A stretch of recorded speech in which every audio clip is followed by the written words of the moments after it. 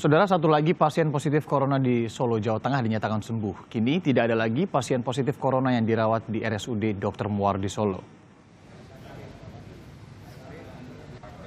Wali Kota Solo, Rudi Hadiatmo, mengonfirmasi seluruh pasien positif corona di Rumah Sakit Umum Daerah Dr. Muardi yang berjumlah tiga orang telah sembuh dan diizinkan pulang. Sementara pemerintah Solo mencatat masih ada 162 orang dengan status dalam pemantauan atau ODP. Kemarin yang inisial P sudah sembuh, isi inisial R sudah sembuh, dan ditambah inisial H yang kemarin sampaikan oleh uh, Dr. Muardi dari Rumah Sakit Dr. Muardi, sehingga Solo bebas uh, positif corona.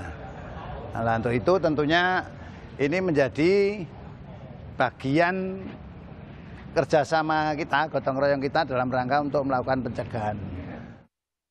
Pasiennya uh, datang seperti pasien biasa, uh, tidak membawa juga tidak membawa uh, masker. Terus saya mendaftari dia dengan keluhan batuk-batuk, terus saya berkontak sama pasien itu.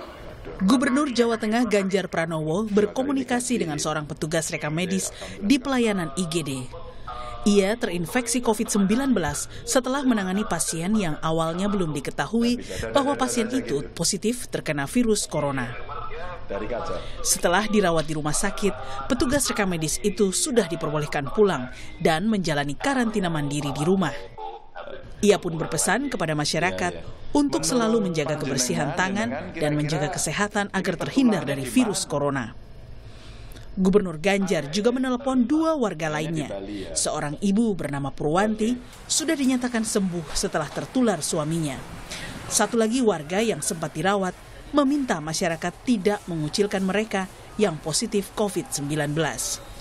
Kesembuhan pasien terinfeksi virus corona juga terjadi di Merauke, Papua. Dua pasien positif COVID-19 yang dirawat di RSUD Merauke dinyatakan sembuh. Meski sudah dinyatakan sembuh, Dinas Kesehatan tetap melakukan perawatan lanjutan sambil menunggu hasil tes tahap ketiga. Untuk pasien satu dan pasien dua hasil konfirmasi negatif. Al. Ya. Dari positif sekarang sudah menjadi negatif. Kemudian kita menunggu konfirmasi berikutnya. Kalau negatif lagi berarti pasien dinyatakan sembuh dan Berita bahagia juga datang dari Menteri Perhubungan Budi Karya Sumadi yang menjadi menteri pertama di Indonesia yang positif terinfeksi COVID-19.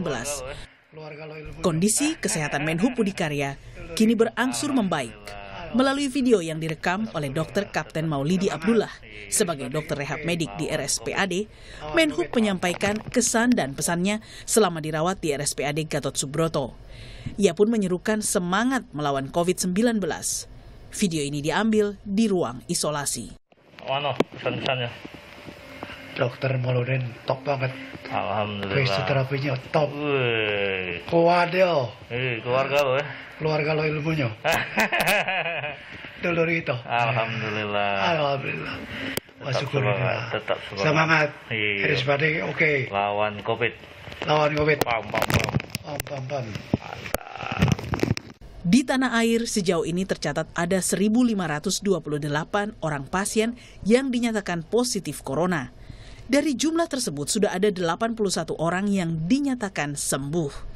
Sementara itu di seluruh dunia, jumlah mereka yang sembuh dari virus corona mencapai 172.396 orang. Tim Liputan Kompas TV